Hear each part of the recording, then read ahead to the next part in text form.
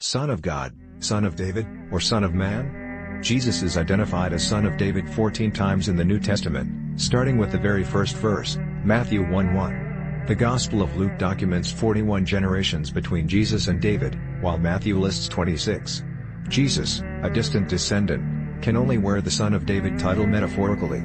But how then should we understand the title, Son of God? The trilemma, a common proposal of Christian missionaries, states that Jesus was either a lunatic, a liar, or the Son of God, as he claimed to be. For the sake of argument, let's agree that Jesus was neither a lunatic nor a liar. Let's also agree he was precisely what he claimed to be. But what, exactly, was that? Jesus called himself Son of Man frequently, consistently, perhaps even emphatically, but where did he call himself Son of God? Let's back up. What does Son of God mean in the first place? No legitimate Christian sect suggests that God took a wife and had a child, and most certainly none conceive that God fathered a child through a human mother outside of marriage. Furthermore, to suggest that God physically mated with an element of his creation is so far beyond the limits of religious tolerance as to plummet down the sheer cliff of blasphemy, chasing the mythology of the Greeks. With no rational explanation available within the tenets of Christian doctrine, the only avenue for closure is to claim yet one more doctrinal mystery.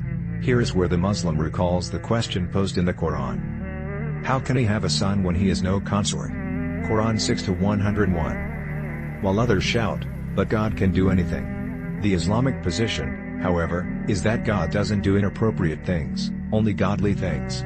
In the Islamic viewpoint, God's character is integral with his being and consistent with his majesty. So again, what does Son of God mean?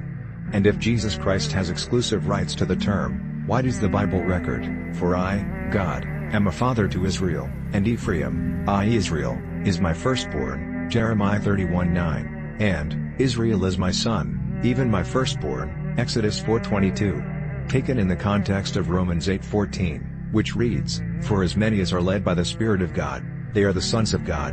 Many scholars conclude that Son of God is metaphorical and, as with Christos, doesn't imply exclusivity. After all, the Oxford Dictionary of the Jewish Religion confirms that in Jewish idiom Son of God is metaphorical. To quote, Son of God, term occasionally found in Jewish literature, biblical and post-biblical, but nowhere implying physical descent from the Godhead. 1. Hastings Bible Dictionary comments. In Semitic usage sonship is a conception somewhat loosely employed to denote moral rather than physical or metaphysical relationship. Thus sons of Belial, JG 1922 etc., are wicked men, not descendants of Belial, and in the NT the children of the bridechamber are wedding guests. So a son of God is a man, or even a people, who reflect the character of God. There is little evidence that the title was used in Jewish circles of the Messiah, and sonship implied more than a moral relationship would be contrary to Jewish monotheism. 2. And in any case, the list of candidates for Son of God begins with Adam, as per Luke 3:38. Adam, which was the Son of God. Those who rebut by quoting Matthew 3:17, and suddenly a voice came from heaven, saying, This is my beloved Son, in whom I am well pleased, have overlooked the point that the Bible describes many people, Israel and Adam included, as sons of God. Both 2 Samuel 7:13-14 and I Chronicles 22:10 read, He, Solomon, shall build a house for my name, and I will establish the throne of his kingdom forever. I will be his father, and he shall be my son. Entire nations are referred to as sons or children of God.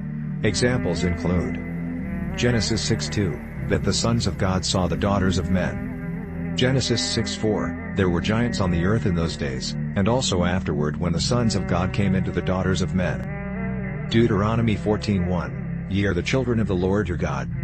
Job 1:6, now there was a day when the sons of God came to present themselves before the Lord.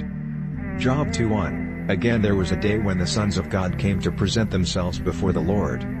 Job 38:7, when the morning stars sang together, and all the sons of God shouted for joy.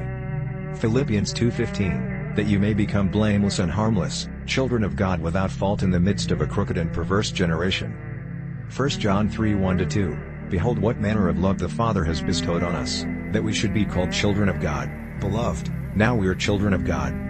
In Matthew 5:9 Jesus says, Blessed are the peacemakers, for they shall be called sons of God. Later in Matthew 5:45, Jesus prescribed to his followers the attainment of noble attributes, that you may be sons of your Father in heaven.